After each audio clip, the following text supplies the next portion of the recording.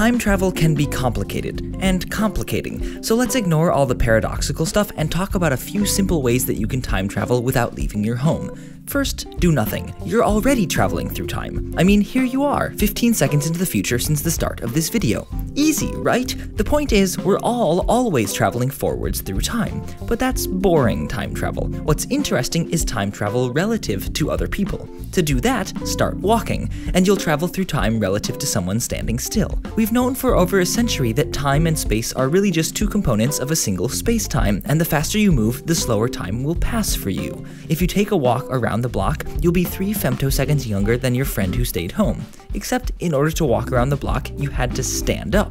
You're now further from the Earth, and so gravity is a tiny bit weaker for you, which means you're traveling through time relative to your friend who's sitting down. That's right, more gravity makes time slow down too. If you stand up for a minute, your feet will age 10 femtoseconds less than your head. On the other hand, GPS satellites high in orbit experience less of Earth's gravity and thus travel noticeably faster through time than we do, which is why their clocks are calibrated to run slow.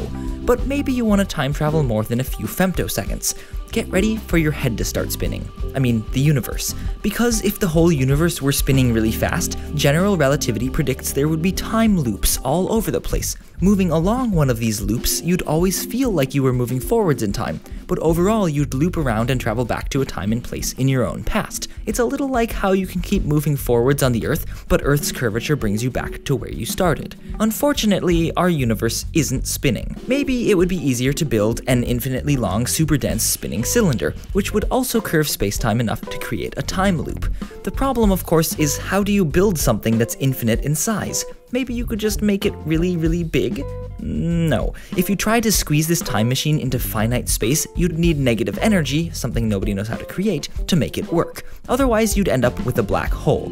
Wait, but what if instead of a black hole, we built a wormhole? Wormholes are hypothetical but not physically impossible bridges through spacetime, shortcuts that can instantaneously connect two different places and times in our universe. If you had a wormhole, you might be able to use it to travel into the past or the future.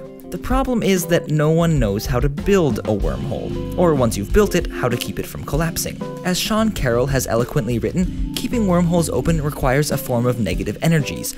Nobody knows how to make negative energies, although they occasionally slap the name exotic matter on the concept and pretend it might exist. Well, that's too bad, but as a consolation, welcome to the future. Almost three minutes have passed since the beginning of this video, and we now have personal jetpacks. I'd like to thank Aatish Bhatia of the blog Empirical Zeal for helping me write this video, and also Volkswagen, who want you to know they're doing their best to slow down time by offering no charge scheduled maintenance for the first two years or 24,000 miles on every new car. Time slows down when you're moving, so driving 24,000 miles will keep your car 5 nanoseconds younger.